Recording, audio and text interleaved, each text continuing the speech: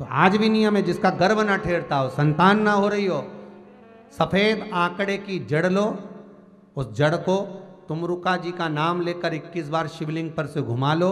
रजस्वला धर्म के सातवें दिन, नारी सात दिन तक काम नहीं करती, सातवें दिन उस जड़ को कमर पर बाँध लो। पीपल के पत्ते को शिवजी पर चढ़वाओ, उस पत्ते का, पत्ते को लाकर उसको गाय के दूध में उगालो। रात्रि को सोने से पहले पति और पत्नी उस दूध का पान कर कर तुमरुका जी का नाम लेकर पीकर फिर सो गए। महाराज, तीन से चार महीना, ज़्यादा से ज़्यादा अगर प्रबल कड़क योग हैं तो बाबा छः महीना, बहुत हो गया। जड़ को बंधी रहने दो कमर में लाल धागे में। भगवान कृपा करेगा, संतान अवश्य देगा। जहाँ डॉक्टर भी हार जाते हैं उस लेडीज़ ने सुबह आई थी कह रही थी कि डॉक्टर ने मना कर दिया था संतान के लिए, पर बाबा की कृपा हो। शिव की कृपा।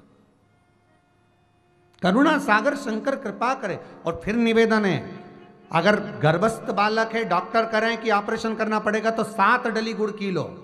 और गुड़ की सात डली को तुम रुका जी का नाम लेकर सात बार घुमाकर उस डली को एक एक कर कर बहू को, बेटी को जिसको संतान होने वाली है, डॉक्टर करें, ऑपरेशन से संतान होगी, उसको एक एक कर कर खिला दीजिए। नॉर्मल ही डिलीवरी हो, नॉर्मल ही संतान हो। ऑपरेशन नहीं हो शंकर की उपासना, तुम रुका जी का नाम सहज नहीं।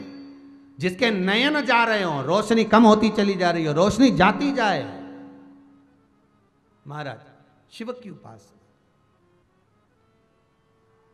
शंकर की उपासना।